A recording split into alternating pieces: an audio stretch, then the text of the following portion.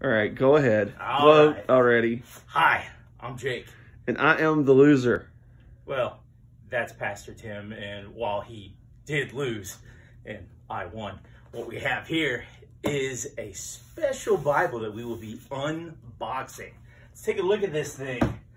This is a package from Crossway. So if you've been paying attention over the past 12, 15 hours or so, Pastor Tim and I have been having a contest, which I clearly won.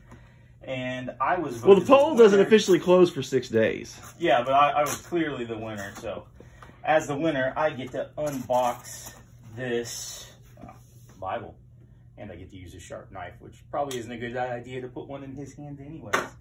So, what do we have here? Is it the wrong one? Oh no, ladies and gentlemen, boys and girls, this is the Omega. That's right. That's right. Come in close so we can take a good sniff. Okay, we're gonna take. This is gonna be a short video. Oh yeah, we're just showing you. Wow, the nice little felty. Oh yeah, yeah, man, they are All right, serious about their packaging. gently get this out. Special thanks to Crossway for sending us this brand spanking new Omega.